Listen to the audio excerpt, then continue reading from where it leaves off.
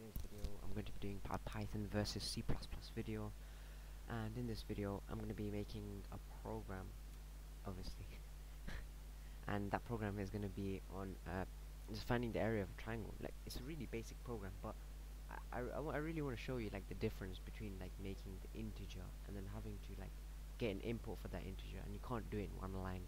And and that's pretty like sad I guess because because I know we all love Python. Come on who doesn't love Python? Yeah. So so let's begin. Um so first of all we need to create an integer. So we need to create the actual variable. So I integer base appropriate variable name base and then see out. We need to tell the user um what that they need to enter the base. Enter base. Yep. And then sorry almost forgot the semicolon. Crazy and then you want to have uh, input c in and then remember two arrows going inwards like imagine it's like being entered into the system like input two arrows inwards and those two output arrows facing outwards. Yeah that that's how I remember it. Um, c in so it's the input and we want to get an input for the base colon and then you want to um, get an input for the height. As you can see over here I already tested uh, my version to make sure it's working and it is working and I'm going through it with you step by step so you understand what I'm doing.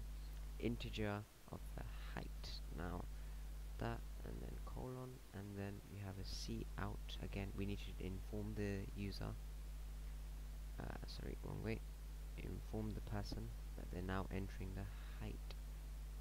And I think to keep things really simple for now this is actually just a simple base times height times half uh, program I think in the next video or two I should be making a program where you can find the area of any triangle.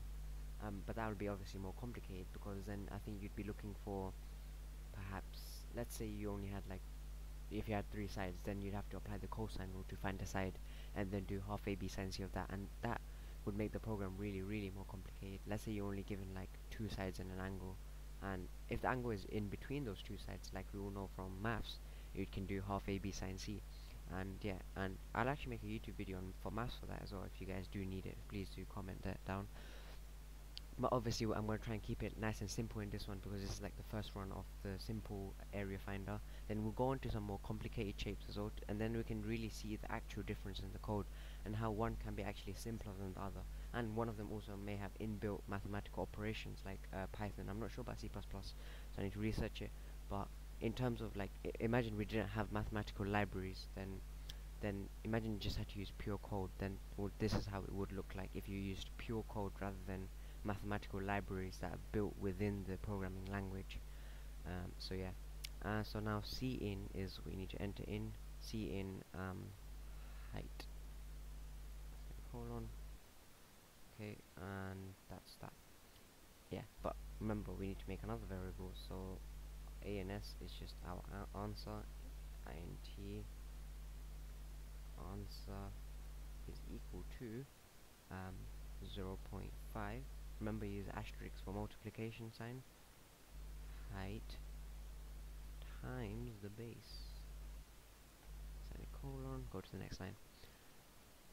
And well we can output now. See out uh, yes see out ans and let's see let's give it a run. If we get it wrong then it's actually good news because then I can show you how to actually look at your line step by step and actually get the right answer. And I've missed out semicolon finally enough. Okay enter base so it's working. So let's say we had a base of 5 centimeters and a height of 10 centimeters. Oh boom 25 brilliant. Found the area of the triangle. Simple right? Right now time to do Python versus C++.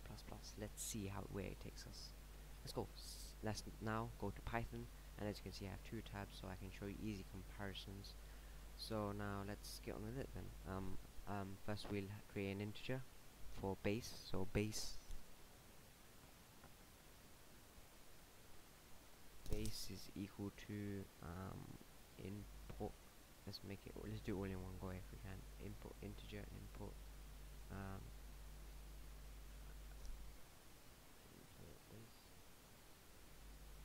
to make it simple, just copy and paste this.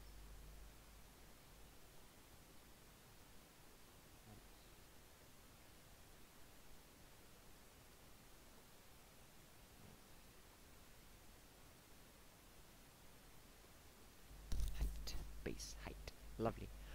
Now, um, I think in Python, the best thing is you can do it in three lines. If you do print, okay, I'm just gonna do all of this in three lines. It's crazy, right? How much more efficient can you get? Okay, so print, let me see the time complete. Okay, uh, print, uh, okay, it is, comma, 0.5 times base times height. And if my suspicions are right, this should actually give us the right answer.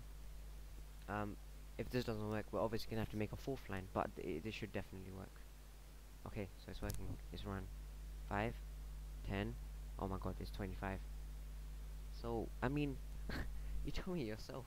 You, you compare yourself. I mean, this three line code versus um, well if you don't if you don't look at the int main and all this bit then I mean it's it's eight lines eight seven eight lines so this is seven eight lines and this is three lines and and in Python the thing is you can squeeze in so much into one line. Like for example I put in an integer and an input into one line whereas over here you'd have to put in two lines and you need to make the output that they should enter the base in one line which is pretty cool. It's awesome. Yeah. And and this is why Python again like I always say is used so much in the industry. Its number manipulation is great.